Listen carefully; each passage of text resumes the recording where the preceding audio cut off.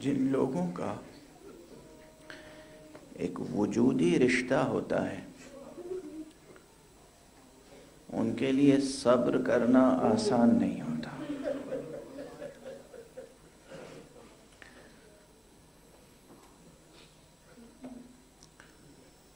لیکن بہرحال ہم صبر کرنے پر بھی معمور ہیں من جملہ اور فرائض من جملہ اور واجبات۔ صبر بھی ایک فریضہ ہے۔ صبر بھی ایک واجب ہے۔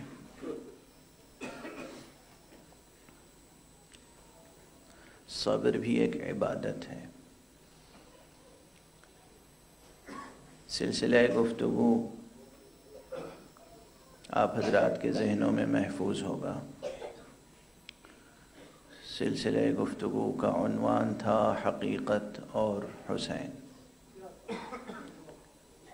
اور اس عنوان کے لیے جس متن قرآنی کا انتخاب کیا گیا تھا وہ تھا سورہ اخلاص، سورہ توحید۔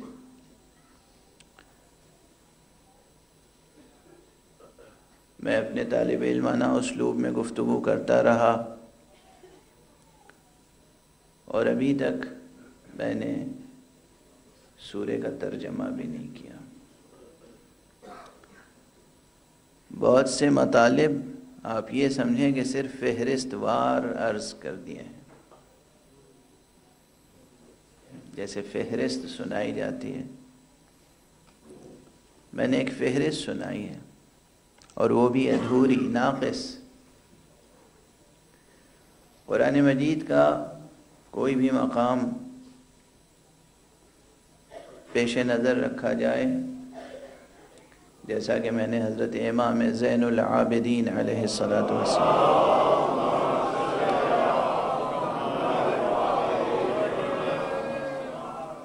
کا ارشاد گرامی آپ کی خدمت میں پیش کیا تھا۔ آپ نے فرمایا کہ آیات القرآن خزائن العلم۔ قرآن مجید کی آیتیں تو علم کے خزانے ہیں۔ فَكُلَّمَا فَتَحْتَ خَزَانَةً فَيَنْبَغِي أَن تَنْظُرَ مَا فِيهَا۔ جب بھی تم کوئی خزانہ کھولو، کسی خزانے کے دہانے تک پہنچو۔ تو پھر لازمی ہے، ضروری ہے تمہارے لیے کہ دیکھو اس خزانے میں کیا کیا کچھ۔ گنج ہائے گرام آیا۔ حق سبحانہ و تعالی نے تمہارے لیے ذخیرہ کر دیے ہیں۔ تو قرآن کا ہر مقام ایک خزانہ علم ہے۔ سورہ اخلاص بدرجہ اولا جسے آپ ہر نماز میں تقریباً پڑھتے ہیں، لیکن آپ کو یہ احساس نہیں ہوتا کہ کیا کلمات ہیں جو زبان سے ادا کر رہے ہیں۔ بے پناہ سورہ ہے، ممکن ہو سکا تو کچھ کل کی مجلس میں خلاصے کے طور پہ عرض کروں گا اور آج بھی جو سلسلہ گفتگو ہے، جو مطالب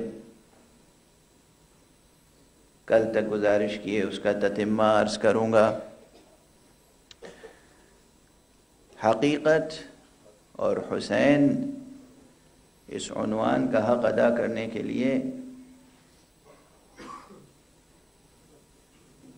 دو مباحث سے گزرنا بہرحال لازمی ہے۔ ایک یہ کہ ہم حقیقت کو سمجھیں، حقیقت کی تعریف کو سمجھیں، حق کی تعریف کو سمجھیں، اور دوسرے یہ کہ سمجھنے کے عمل کو سمجھیں۔ جہاں علم کا مسئلہ درپیش ہوتا ہے۔ اور اسی لیے لازمی طور پر میں نے علم کے مباحث چھیڑے تھیوری آف نالج کی مشکلات کی طرف اشارے کیے۔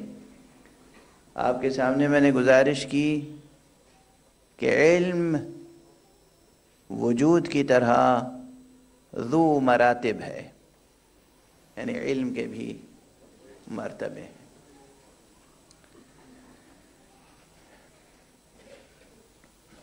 دو ضروری مطلب مختصر طور پر اس وقت عرض کروں یعنی گویا وہ بھی اشاراتی انداز میں۔ بار بار میں نے عرض کیا، یہ ذہن انسانی کی مجبوری تھی یا ذہن انسانی کی ضرورت؟ کہ جب اس پوری کائنات کو سمجھنے کا مسئلہ درپیش ہوا، تو پھر ٹین کیٹیگریز آف بینگ کی تھیوری سامنے آئی، مقولات کی بحث سامنے آئی اور اس میں ایک مقولہ مقولہ جوہر اور باقی تین مقولے، مقولات عرضیہ ہیں، سب اعراض ہیں۔ ایک جوہر ہے، باقی نو اعراض ہیں۔ ایک ہے سبسٹنس، باقی نو ایکسیڈنٹس ہیں جب میں نے یہ بار بار آپ کے سامنے عرض کیا تو یہ ذہن عالی میں نہ آ جائے کہ حق سبحانہ ہوا تعالیٰ کو جو جستجو کی جاتی ہے، اللہ کی جو جستجو کی جاتی ہے، اسے بھی ہم انہی ٹین کیٹیگریز میں کہیں تلاش کریں۔ خدا نہ خواستہ یہ ذہنوں میں نہ آ جائے۔ یہ ذہنوں میں نہ آ جائے۔ اس لیے کہ حق سبحانہ و تعالیٰ کی ذات گرامی اس سب سے بلندر ہے۔ ہو سکتا ہے بچے، نوجوان مغالطہ ہو جائے انہیں کہ اللہ جوہر ہے۔ نہیں، حق سبحانہ و تعالیٰ کسی کیٹیگری میں محدود و منحصر نہیں ہو سکتا۔ یہ سب کیٹیگریز اس عالم کے لیے ہیں، اس کائنات، اس دنیا کے لیے۔ یعنی گویا وہ دنیا، وہ عالم، وہ کائنات جو سورج کی روشنی میں روشن ہوتی ہے۔ جہاں تک سورج کی روشنی پہنچ رہی ہے، وہاں تک جو کچھ دیکھا جا سکتا ہے، اسے ٹین کیٹیگریز میں کلاسیفیکیشن اس کی کی جا سکتی ہے۔ لیکن اس کے علاوہ بہت سی چیزیں ہیں کہ جو ان ٹین کیٹیگریز میں نہیں آ سکتی۔ یہ علم بھی یہ تو بالکل ذہن میں راسخ رکھیں کہ اللہ ذات حق سبحانہ ہوا تعالی حقیقت الحقائق، وہ اس سے برتر ہے۔ وہ نہ جنس رکھتا ہے، نہ فصل رکھتا ہے، نہ جوہر ہے، نہ عرض ہے۔ نہ اس کی حد ہو سکتی ہے، ممکن نہ رسم۔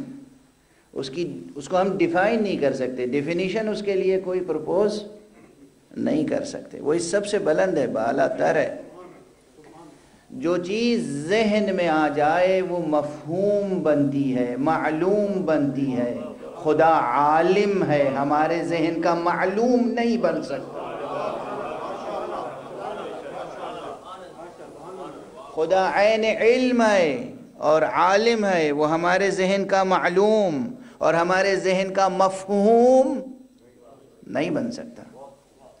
جو چیز ذہن میں آ جائے وہ خدا نہیں ہو سکتی۔ اس لیے ناحق حضرات زحمت کرتے ہیں۔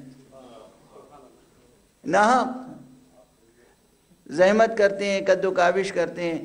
کہتے ہماری سمجھ میں نہیں آتا، بھائی خدا تو کہتے ہی اسے ہیں جو آپ کی سمجھ میں نہ آئے۔ خدا تو کہتے ہی اسے ہیں جو ہماری آپ کی سمجھ میں نہ آئے۔ جو سمجھ میں آ جائے گا وہ خدا نہیں ہو جا ہوگا۔ توجہ فرما رہے ہیں آپ۔ اور یہاں پر اب ٹھہر کے ایک جملہ عرض کر دوں جو اکثر کہتا رہا ہوں، پھر کہہ رہا ہوں۔ اس فقیر کا جملہ ہے۔ اللہ وہ حقیقت ہے۔ خدا وہ حقیقت ہے۔ جس کا انکار ناممکن ہے، مگر اعتراف مشکل ہے۔ اعتراف آسان نہیں ہے۔ اقرار آسان نہیں ہے۔ اعتراف آسان نہیں ہے۔ نہ ذہنی اعتبار سے آسان ہے، نہ عملی اعتبار سے۔ نہ تھیوریٹیکلی آسان ہے، نہ پریکٹیکلی آسان ہے۔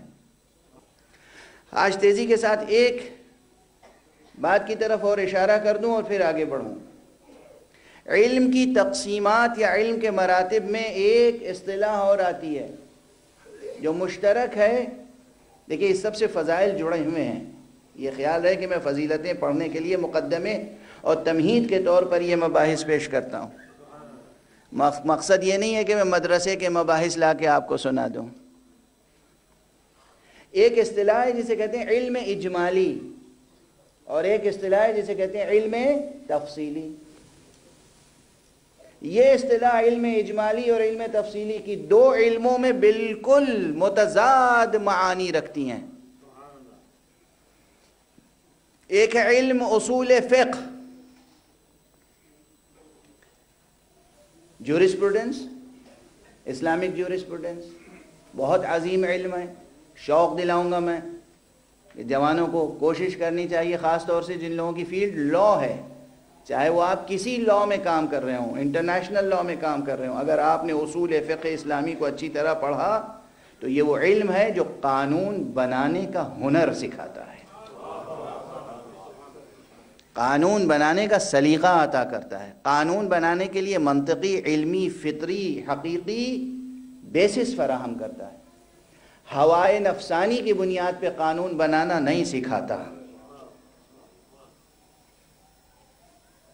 وحشی قوانین نہیں سکھاتا۔ یہ عقل، منطق، فطرت اور حق و حقیقت کی بنیاد پر قانون سازی کے اصول عطا کرتا ہے۔ اسے کہتے ہیں علم اصول فقہ۔ بتائیے، یہ پیغام اس ممبر سے دیا جائے یا نہ دیا جائے؟ دنیا آج سرگرداں ہے قانون سازی کے معاملے میں۔ اور غیر فطری قوانین روزانہ بنائے جا رہے ہیں۔ علم قانون اگر سیکھنا ہو دنیا کو، تو فقہ اسلامی سے سیکھیں۔ اور اس کا ادعا میں نہیں کر رہا ہوں، میں دعویٰ نہیں کر رہا ہوں۔ مختلف بڑے ہسٹورینز اور بڑے فلاسفرز اور بڑے لا میکرز نے اس بات کا اعتراف کیا ہے کہ اسلامک شریعہ اور اسلامک جورسپروڈنس یہ وہ ہے جس نے انسانی معاشرے میں، پوری دنیا میں انسانی معاشرے میں ہیومن ہسٹری میں ایک لاجیکل لیگل سسٹم کو ڈیولپ کرنے میں مدد دی ہے۔ تو جو چیز لاجیکل لیگل سسٹم کو ڈیولپ کرنے میں مدد کر چکا ہے اسے آج ریجیکٹ کر رہے ہیں آپ۔ اور وہ قانون جو وحشی درندے جانوروں کے ہاں بھی رائج نہیں ہے، اسے آپ انسانی معاشرے میں انٹروڈیوس کر رہے ہیں۔ تو یہ بات ذہن عالی میں محفوظ رہے۔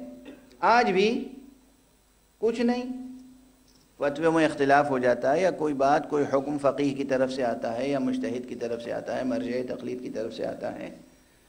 تو اس کی مخالفتیں کرتے ہیں وہ لوگ جو لفظ فقہ کو صحیح تلفظ بھی نہیں کر سکتے۔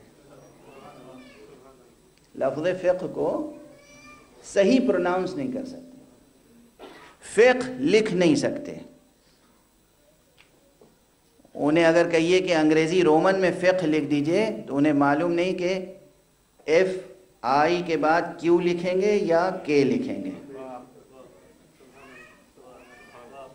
اور زیادہ صحیح اور ایکوریٹ کیا ہوگا؟ ایف کے بعد آئی لکھیں گے یا ای لکھیں گے؟ جاہل مطلق، جاہل محض، جاہل مرکب، جڑی لے جائے۔ جن کا جہل کسی بھی چھری سے کٹ نہیں سکتا۔ اعتراض کس پہ کر رہے ہیں؟ مرجع تقلید پر۔ ولی فقیح پر۔ علماء پر فقہا پر، اسکالرز پر۔ کیا مرض ہے ماشاءاللہ؟ یہ مرض یوں ہی نہیں پیدا ہوتا ہے۔ آپ کو معلوم ہونا چاہیے کہ یہ اکیسویں صدی کی ظالم سیاست پوری پوری نیشنز کو، پورے پورے ملکوں کو، پورے پورے علاقوں کو تباہ کرنے کے لیے یوں ہی وائرس پھیلا دیتے ہیں۔ بیماریاں۔ تو وہ ذہنی بیماریاں بھی تقسیم کرتے ہیں۔ اور جسمانی بیماریاں بھی۔ بہرحال تو یہ پالیسی میں ریٹن موجود ہے، جائیے برٹش لائبریری میں بیٹھ کے تحقیق فرما لیجیے علم فقہ مسلمانوں کو نہ سکھاؤ، یہ ان کے نصاب تعلیم سے نکال دو، خارج کر دو۔ اس لیے کہ فقہ سیکھنے کے بعد یہ قوم حکمراں بن سکتی ہے، محکوم نہیں رہ سکتی۔ فقہ وہ علم ہے جو قانون سازی سکھاتا ہے۔ جو معاشرے کو منظم کرنا سکھاتا ہے، میں نے اپنی ان آنکھوں سے الفاظ پڑھے ہیں، تب کوٹ کر رہا ہوں۔ کسی اخبار کی خبر کی بنیاد پر نہیں۔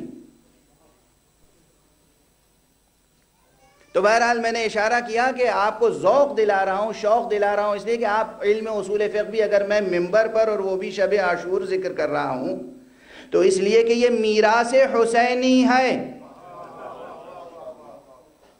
یہ میراث علوی ہے، یہ میراث محمدی ہے، یہ میراث مصطفی ہے، یہ میراث قرآنی ہے۔ علم فقہ کی بنیاد کس پر ہے؟ زیادہ تر اصول فقہ۔ قانون بنانے کی منطق۔ اصول فقہ۔ تو ایک تصور علم اجمالی اور علم تفصیلی کا اصول فقہ میں ہے۔ اور ایک تصور علم اجمالی اور علم تفصیلی کا فلسفے اور عرفان میں ہے۔ بس، گفتگو کو اپنی منزل پہ، اپنے مرکز پہ لے آیا اپنے محور پر۔ علم کی جو اور تقسیمیں ہیں، علم کے جو مراتب ہیں، ان میں میں نے عرض کیا، علم حضوری، علم حصولی۔ علم فعلی، علم انفعالی، یہ سب تقسیمات گزر گئیں۔ میں کل عرض کر چکا ہوں کہ علم فعلی کی اہمیت کیا تھی؟ اگر علم فعلی ہوگا تو خارج میں آپ معلوم کو ایجاد کر سکیں گے۔ اپنے ذہن کے خارج میں، اس زمین پر آپ معلوم کو ایجاد کر سکیں گے۔ مجھے اس موقع پر اپنے برادر معظم مرحوم مغفور حجت الاسلام مولانا سید ذیشان ہدایتی صاحب بے اختیار یاد آ گئے اس وقت، جب ہم لوگ ابتدائی کتابیں آپس میں مباحثہ کرتے تھے علم کلام کی، تو ان کا یہ جملہ تھا کہ جتنے معجزات انبیاء اور ائمہ کے ہیں، تمام معجزات صرف علم کا کے مظاہر ہیں۔ علم معصوم کے مظاہر ہیں معجزات۔ یہ معجزہ، یہ یہ جملہ ذہن میں رہے۔ علم معصوم کے مظاہر ہیں سب کے سب معجزات۔ تو علم فعلی ہوگا اور نفس قوی ہوگا تو معجز نما ہوگا۔ رسول کیسے معجزے دکھاتے تھے؟ امیر المومنین علیہ السلام کیسے معجزے دکھاتے تھے؟ امام حسن، امام حسین کس طرح معجزے دکھاتے تھے؟ علم تھا حق کا علم حضوری تھا، علم علم فعلی تھا، نفس پاک اور قوی تھا۔ تو فی الواقع حضرت حق سبحانہ و تعالی کی طرف سے وہ ملکہ اور وہ اذن حاصل تھا کہ یہ اپنے ارادہ کن فیکونی سے جو چاہتے تھے۔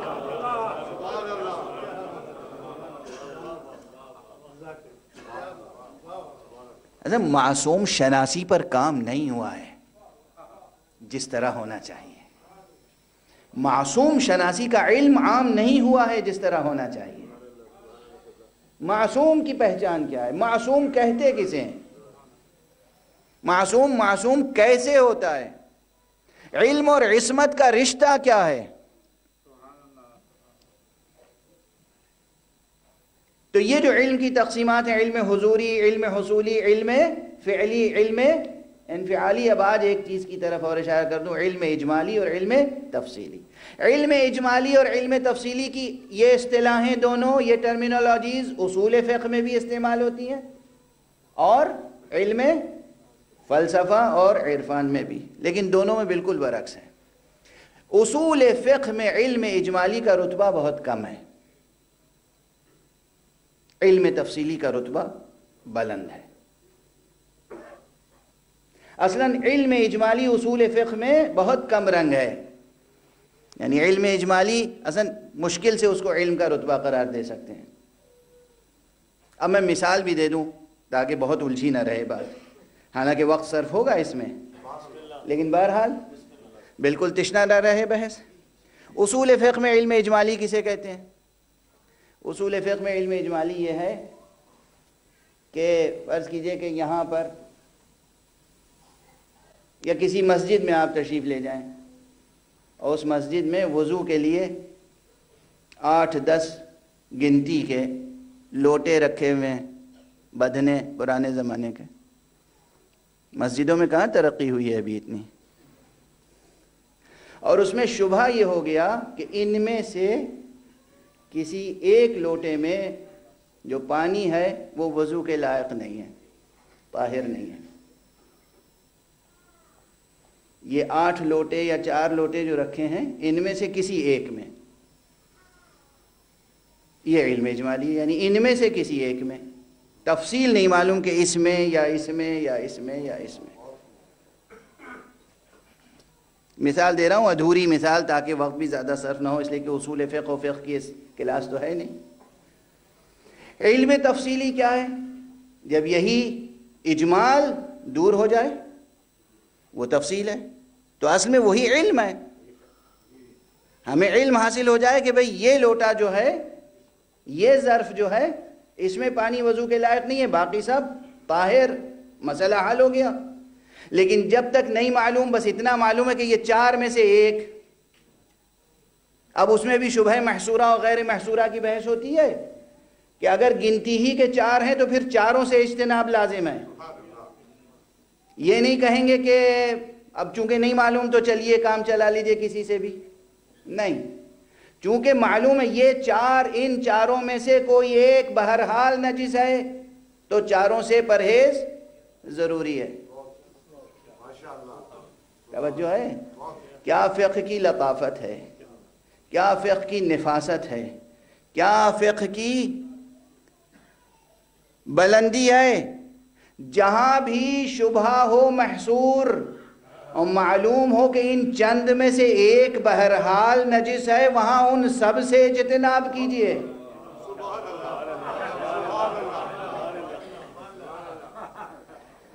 استفادہ اسی سے کیا جائے گا جہاں پورا یقین حاصل ہو کہ یہ مکمل طور پر طاہر ہے۔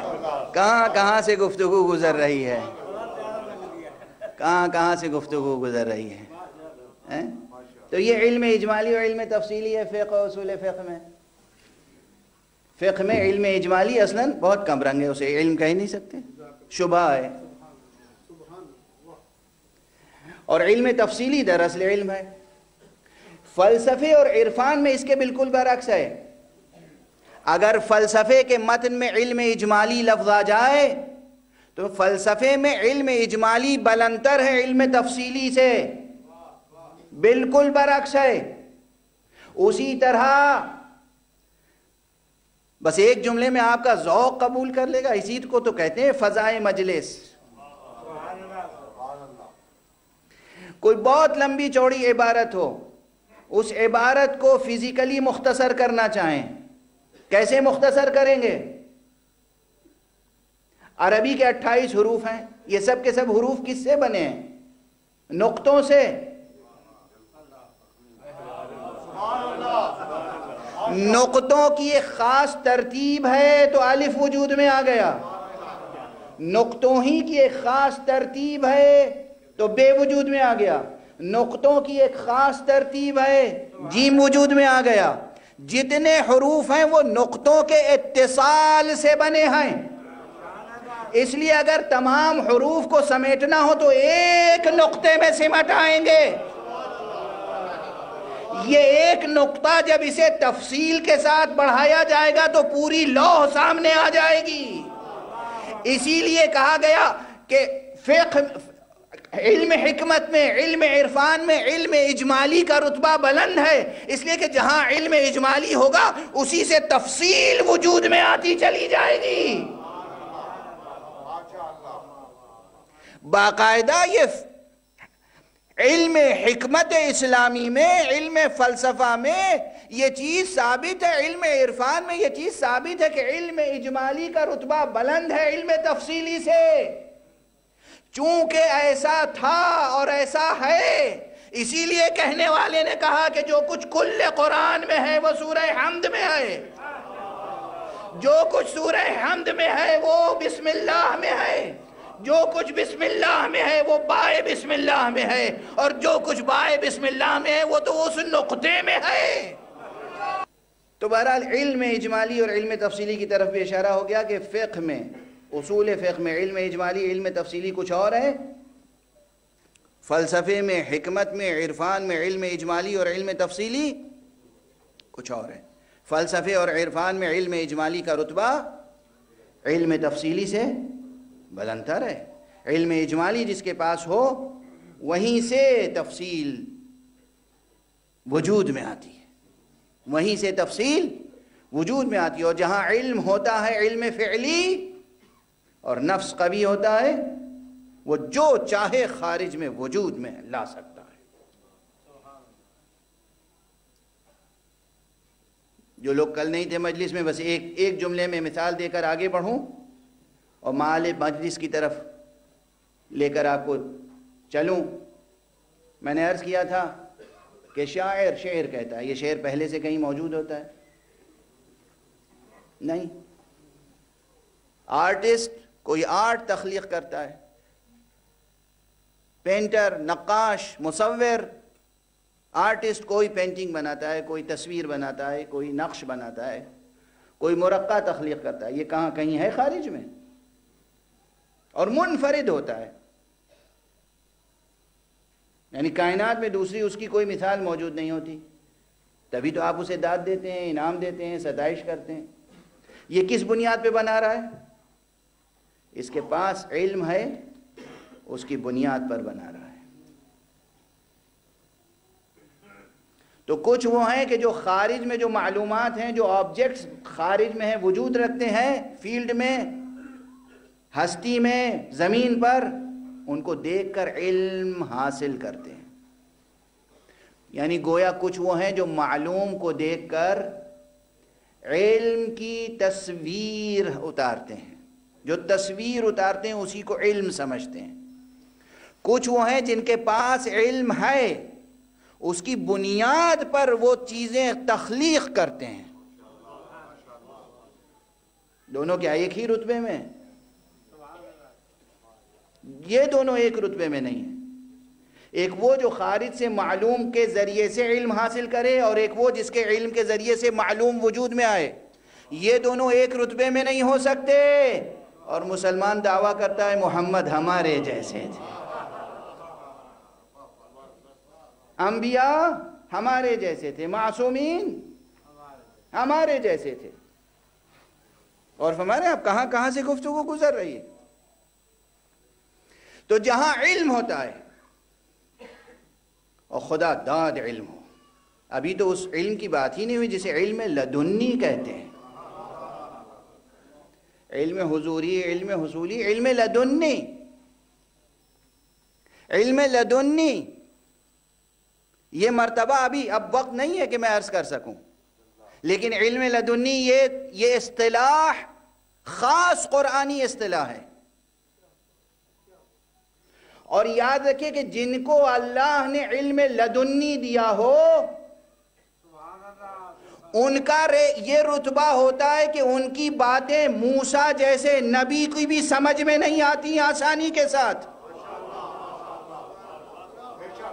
یہ قرآنی حقیقت ہے۔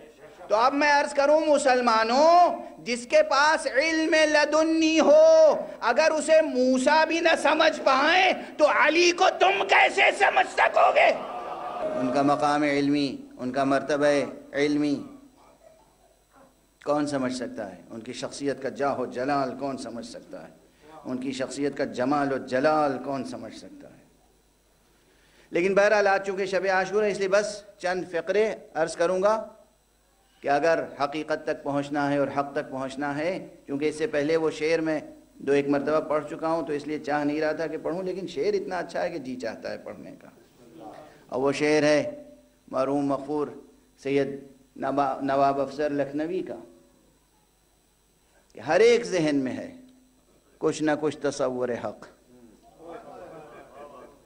ہر ایک ذہن میں ہے، کچھ نہ کچھ تصور حق۔ ہم اس تصور حق کو حسین کہتے ہیں۔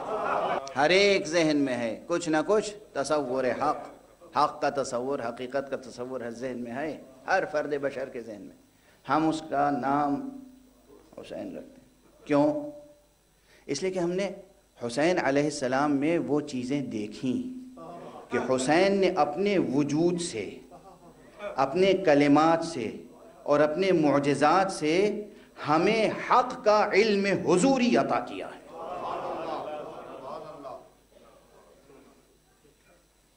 کاش یہ جملے محفوظ رہ جائیں اور کاش اس پر بحث ہو۔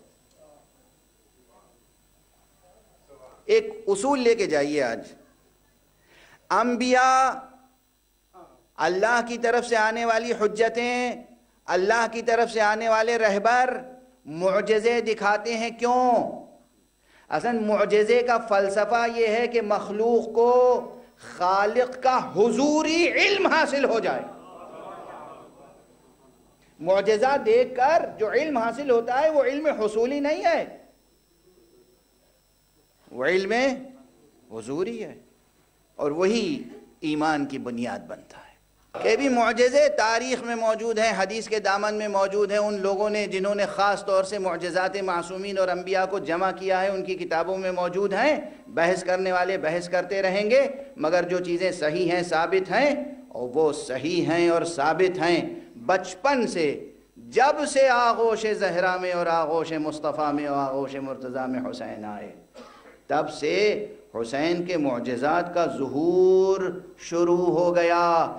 کیا عظمت ہوگی اس بچے کی جہاں نانا بھی صاحب اعجاز ہے، بابا بھی صاحب اعجاز ہے، ماں بھی صاحب اعجاز ہے، بھائی بھی صاحب اعجاز ہے۔ اتنے صاحب اعجاز کے ہوتے ہوئے اس کا معجزہ بھی ظاہر ہو رہا ہے۔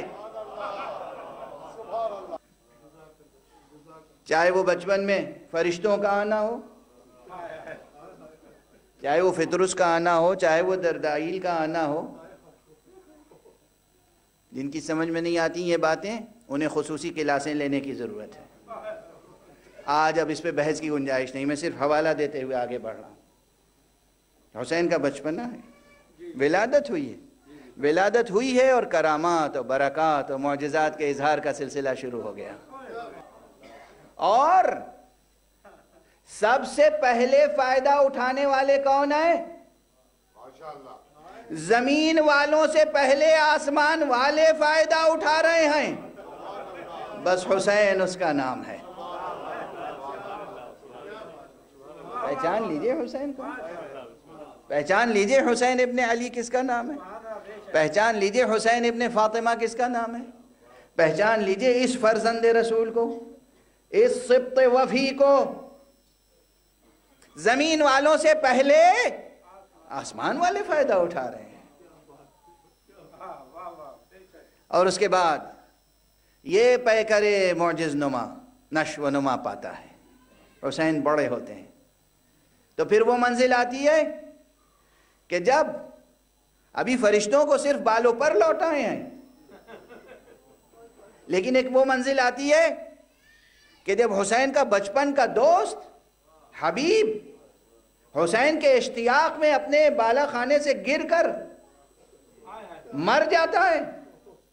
اور حسین میرے دوست حبیب کہہ کر پکارتے ہیں اور وہ جی اٹھتا ہے۔ یہ حسین ہے۔ مصطفیٰ بیٹھے ہیں۔ اور حسین مردے کو زندہ کر رہے ہیں۔ یہ حسین ہے۔ یہ حسین آگے بڑھتے ہیں۔ اور ایک منزل وہ آتی ہے کہ جب کیسے کیسے مراحل آئے ہیں، ذرا ضبط کر لیجیے۔ جی میرا بھی چاہ رہا ہے کہ بس اب گریا کروں، ماتم کروں، لیکن ذرا ضبط کر لیجیے۔ اس لیے کہ پورا عشرہ گزر گیا، میں فضائل کہاں پڑھ سکا؟ میں تو مقدمات کی بحثیں، تمہیدی بحثیں گزارش کرتا رہا۔ اور وہ بھی مقصد یہ تھا تاکہ ہماری اور آپ کی فکری جہتیں روشن ہو یہ حسین ہے۔ اور غالباً آقا حسین کی امامت کا زمانہ ہے۔ معلوم ہے کہ آقا حسین نے سات برس آغوش نبوت میں گزارے۔ تیس برس اپنے بابا کے ساتھ گزارے۔ دس برس اپنے بڑے بھائی امام حسن کے ساتھ گزارے۔ ہر دور میں ایک خاص خصوصیت رہی۔ ہر دور میں معجزے دکھائے۔ ہیں مگر کچھ معجزے وہ ہیں جو امام حسین نے اپنی امامت کے زمانے میں دکھائے۔ ہیں عجیب عجیب معجزے ہیں۔ وقت نہیں ہے کہ میں گزارش کروں۔ بیماروں کو شفا دینے سے لے کر، مردوں کو زندہ کرنے سے لے کر، بچوں کو گویا کرنے تک۔ یہ یوسف زہرا ہے۔ یہ یوسف کنعان نہیں ہے۔ یہ یوسف یعقوب نہیں ہے۔ یہ یوسف مصطفیٰ ہے، یہ یوسف زہرا ہے۔ بس گفتگو تمام کر رہا ہوں۔ آج کی گفتگو یہیں تک۔ آج کی گفتگو یہیں تک۔ معصوم شناسی کا ذوق پیدا کیجیے۔ معصوم کیا ہوتا ہے؟ کیوں ہمارے دین میں اور ہمارے مذہب میں عصمت کی اہمیت ہے اور معصوم سے تمسک لازم ہے؟ آج ایسے افراد پیدا ہو گئے ہیں۔ جو ائمہ کی عصمت پہ بحث کرتے ہیں۔ انہیں معلوم نہیں ہے کہ عصمت کتنی بڑی حقیقت ہے اور کتنی بڑی ضرورت۔ حسین معصوم ہے۔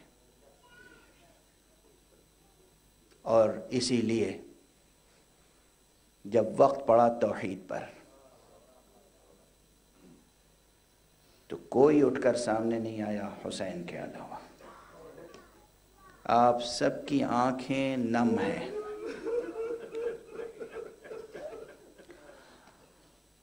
اس لیے کہ یہ شب شب عاشور ہے۔ قیامت کی شب ہے۔ ایک شب عاشور میں کتنے حوادث گزرے، کتنے واقعات گزرے۔ خود ان تمام واقعات پہ الگ ترتیب بت ترتیب نظر ڈالیے تو خود ان واقعات کا ایک شب میں رونما ہونا حسین کے معجزات میں سے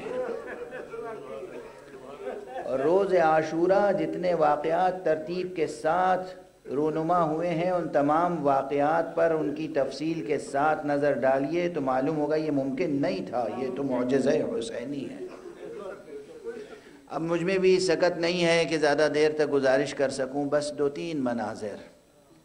شب عاشور۔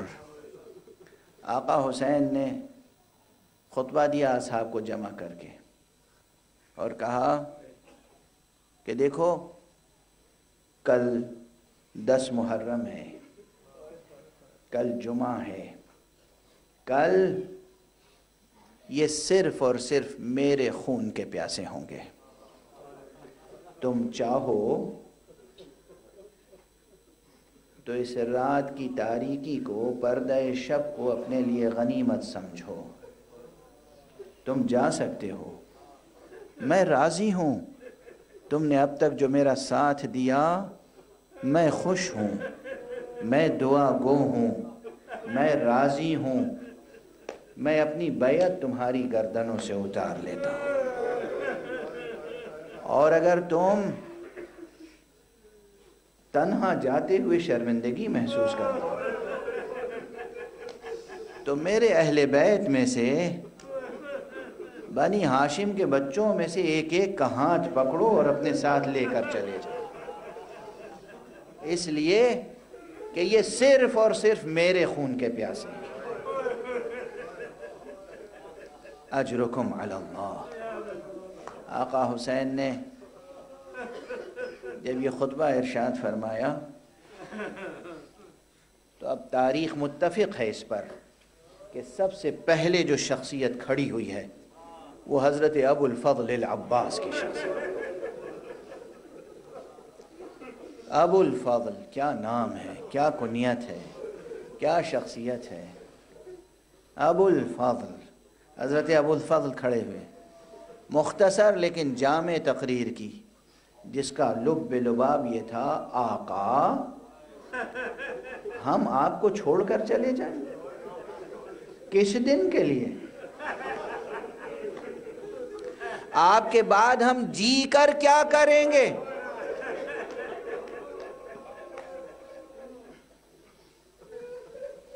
ایسی یادگار اور مؤثر تقریر کی۔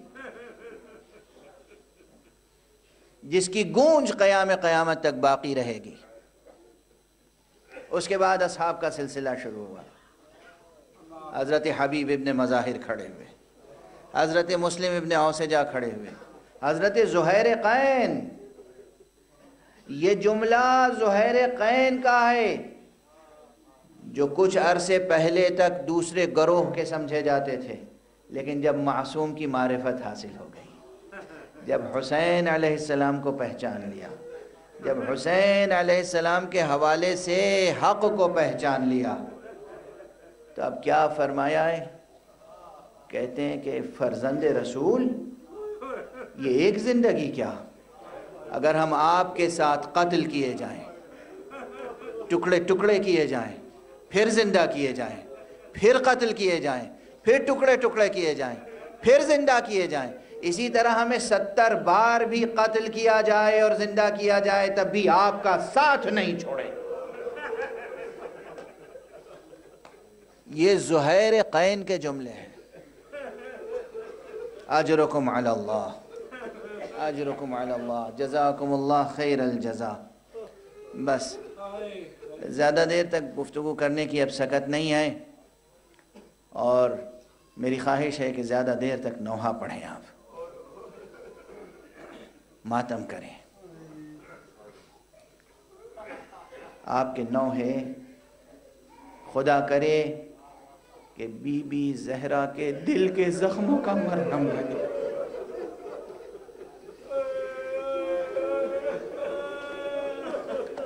بہت تفصیلات ہیں شب عاشور۔ آقا نے سب کی تقریریں سنی، سب کو دعائیں دیں۔ اور اس کے بعد پھر تصرف، پھر معجزہ، پھر تصرف۔ ایک مرتبہ کہا، تم نے اپنی وفاداریاں ثابت کر دی۔ خدا تمہیں جزائے خیر دے۔ اب ذرا اپنے سر اٹھاؤ، نظر اٹھاؤ۔ ارفعوا رؤوسکم۔ اپنے سر اوپر اٹھاؤ۔ اور اپنے مقامات تو دیکھو۔ جو چیز ملحدوں کو نظر نہیں آتی وہ حسین دکھا دیتے ہیں۔ اس لیے یہ عنوان قائم کیا ہے، حقیقت اور حسین۔ حسین علیہ السلام نے بہشت میں اصحاب کو ان کے مقامات دکھائے، انہوں نے دیکھے۔ تو جن کے یقین پہلے سے کامل تھے، انہیں اپنے مقامات دیکھ کر اور مسرت حاصل ہوئی۔ گفتگویں آگے بڑھ رہی تھیں۔ اسی درمیان حضرت امام حسن کا نو نحال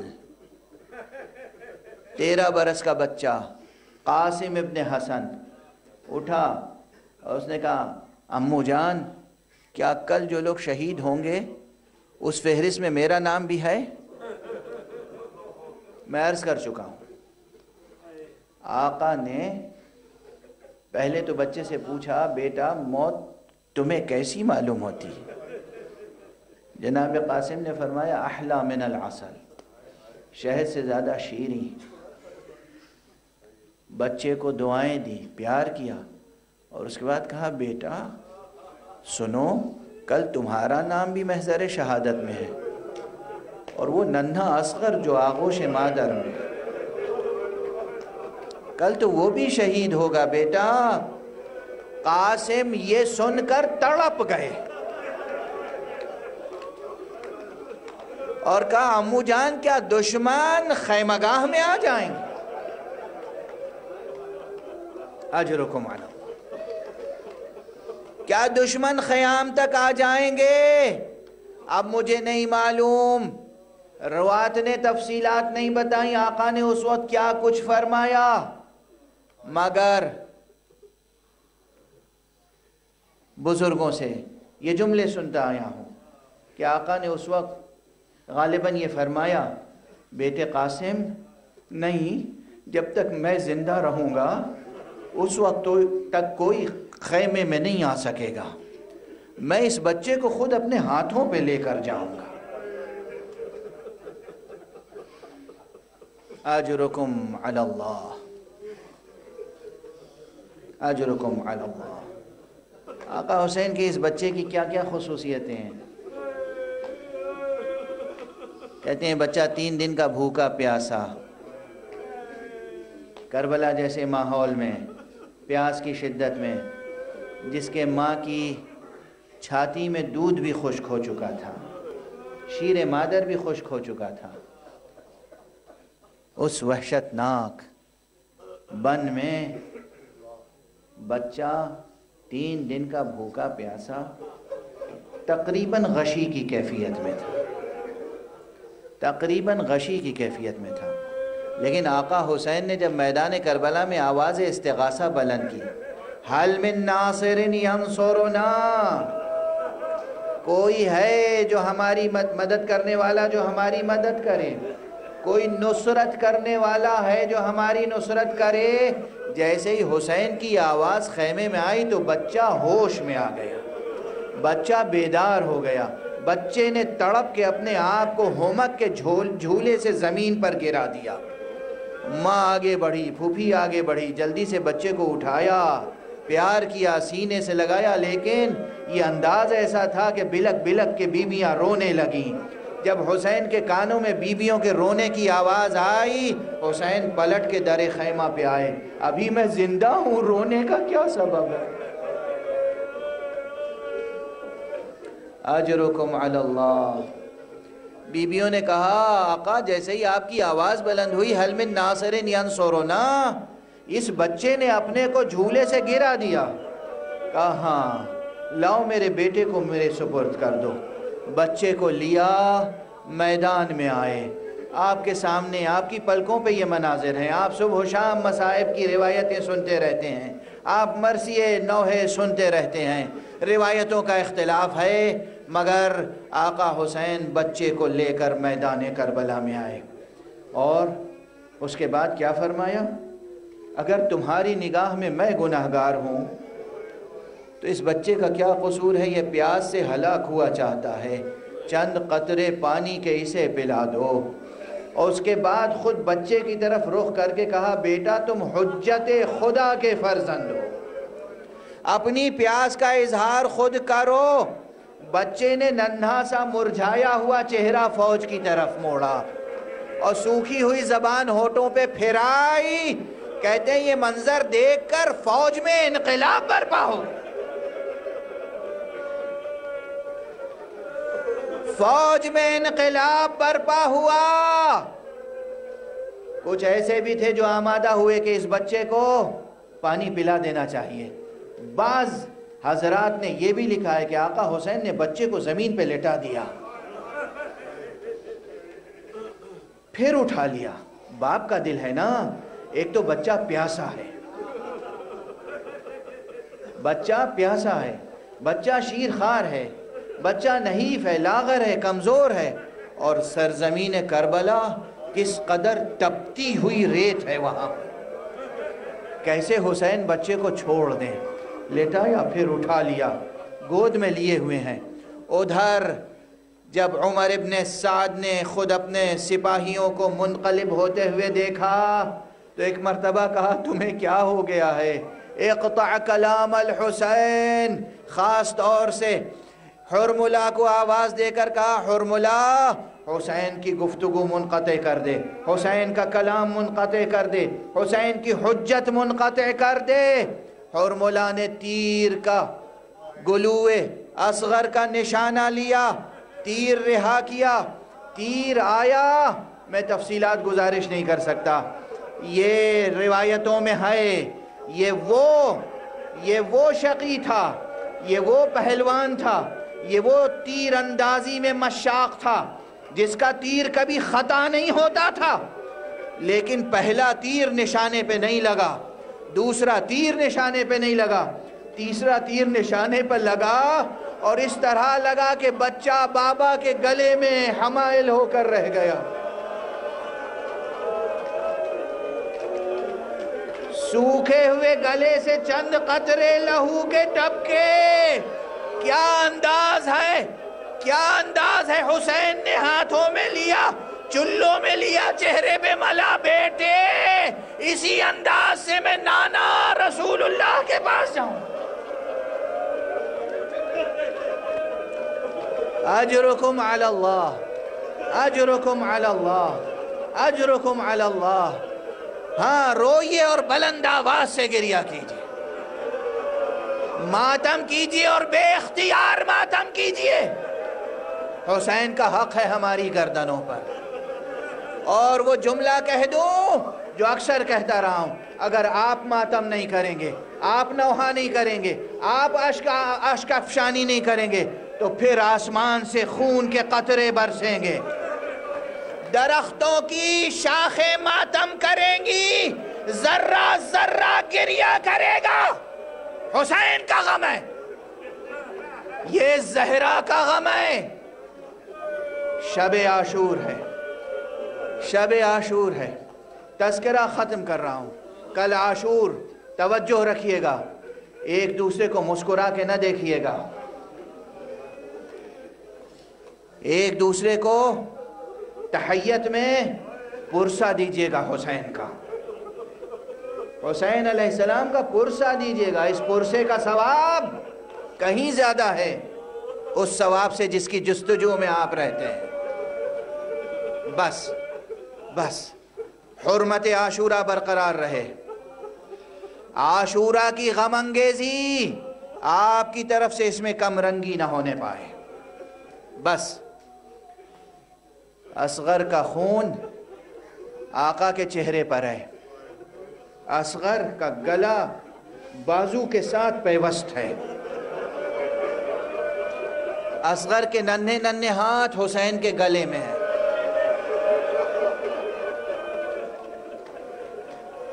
مگر کیا حسین کا صبر ہے؟ میں روایت پڑھ چکا ہوں، کل وہ حسین جو جناب علی اکبر کے سینے سے خون کا فوارہ دیکھ کر سینے پہ ہاتھ رکھ کے اور باہوں میں اکبر کو لے کر لیٹ گئے اور زینب کو سہارا دینا پڑا۔ آواز دے کر۔ بھیا حسین۔ اور جیسے ہی زینب نے آواز دی، حسین نے گویا اپنی طاقت جمع کر لی۔ لیکن آج اصغر کا لاشا اس طرح لے کر حسین کے قدموں میں کوئی اضطراب نہیں آئے۔ حسین آگے بڑھ رہے ہیں، پھر پیچھے ہٹ رہے ہیں۔ انا للہ و انا الیہ راجعون۔ رضن بقضائه و تسلیما لامرہ انا للہ و انا الیہ راجعون۔ رضن بقضائه و تسلیما لامرہ معصوم کے ایک ایک عمل میں حکمتیں ہیں. اس طرح اس عظیم مصیبت کو محفوظ کیا ہے کہ حسین کی یہ آواز قیام قیامت تک گونجتی رہے گی اور ہمیں اور آپ کو یہ سعادت ملتی رہے گی کہ عمل عاشور کے ضمن میں اس عمل کو دہراتے رہیں۔ اور بس آخری فقرہ۔ حسین، سات مرتبہ آگے بڑھے۔ سات مرتبہ پیچھے ہٹے۔ حسین امام ہے حسین حجت حق ہیں۔ حسین انسان کامل ہیں۔ حسین ولی اللہ العظم ہے اپنے وقت میں۔ حسین صبر کا آخری حوالہ ہیں۔ حسین بچے کو لے کر آئے۔ لیکن کس کے پاس لے کر آ رہے ہیں؟ در خیمہ پہ سب بیویاں ہیں۔ ان کے ساتھ رباب بھی کھڑی ہوئی اصغر کی ماں رباب۔ اسی لیے میں کہتا ہوں، رباب سے کیوں محبت تھی خاص حسین کو؟ رباب کا عرفان، رباب کی معرفت، رباب کی للہیت، رباب بھی ولیت اللہ العظمہ ہے۔ جب بچہ آیا، کوئی شوہر سے شکوہ نہیں ہے۔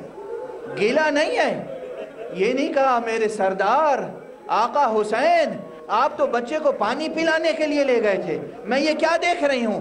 گلا نہیں، شکوہ نہیں۔ بس حسین آئے، دامن ابا کا ہٹایا، ماں کے سامنے پیش کر دیا۔ تاریخ نگارو دیکھو۔ چشم فلک دیکھ، حسین کا صبر اور رباب کا صبر۔ بس رباب نے کہا بونیا اب ازلو کا یونہار میرے بچے، میرے لال، میرے بیٹے کیا تجھ جیسے بھی زبا کیے جاتے؟